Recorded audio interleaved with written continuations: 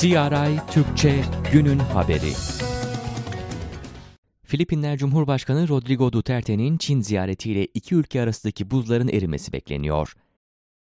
Duterte, Çin ziyareti esnasında yaptığı konuşmada dikkatleri yine üzerine çekti. Huzurunuzda Amerika Birleşik Devletleri'nden ayrılığımı ilan ediyorum dedi. Güney Çin Denizi Anlaşmazlığı nedeniyle Çin-Filipinler ilişkileri geçtiğimiz dönemde gerilmişti. Duterte'den önceki yönetim konuyu uluslararası tahkime taşımış, Çin ise bu adımı ve tahkim kararını tanımamıştı. Duterte'nin Çin ziyareti ilişkilerde yeni bir sayfa açacak gibi görünüyor. Çin Cumhurbaşkanı Xi Jinping konuk devlet başkanını kırmızı halda karşıladı. Daha sonra iki devlet başkanı heyetler arası görüşmeye katıldı. Xi Jinping, Filipinler hükümetinin uyuşturucu, terörizm ve suçlarla mücadeledeki çabalarına destek verdiklerini belirtti. Xi, Duterte'ye Çin'in bir kuşak bir yol çerçevesinde işbirliğini ilerletmeye hazır olduğunu söyledi. Cumhurbaşkanı Xi, tartışmalı Güney Çin Denizi sorunuyla ilgili olaraksa bu meseledeki diyalog ve istişarenin ilişkilerin sağlıklı ve istikrarlı gelişmesi için önemli bir temel arz ettiğini vurguladı.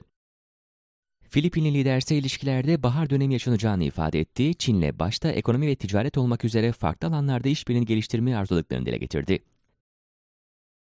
İki lider daha sonra ülkeler arasında farklı alanlarda anlaşmaların imzalanmasına tanıklık etti. Filipinler Cumhurbaşkanı Duterte, Çin Başbakanı Li Keqiang'la da görüştü. Görüşmede ekonomik işbirliği öne çıktı. Başbakan Li, ikili anlaşmazlıkların ilgili tarafların diyaloğuyla çözülmesinin önemini vurguladı. Başbakan, Güney Çin Denizi sorununun ilişkileri sınırlamaması gerektiğinin altını çizdi. Filipinler Cumhurbaşkanı Duterte, başkent Beijing'deki Filipinler Çin Ticaret ve Yatırım Forumu'nda da konuştu, yaptığı açıklamayla dikkatleri yine üzerine çekti. Filipinli lider, huzurunuzda Amerika Birleşik Devletleri'nden ayrılığımı ilan ediyorum dedi. Çin-Filipinler arasındaki ilişkiler Güney Çin Denizi sorunu ve tahkim anlaşmazlığı nedeniyle gerilmişti. Duterte'nin dört günlük ziyaretiyle ilişkilerde yeni bir dönem başlaması bekleniyor.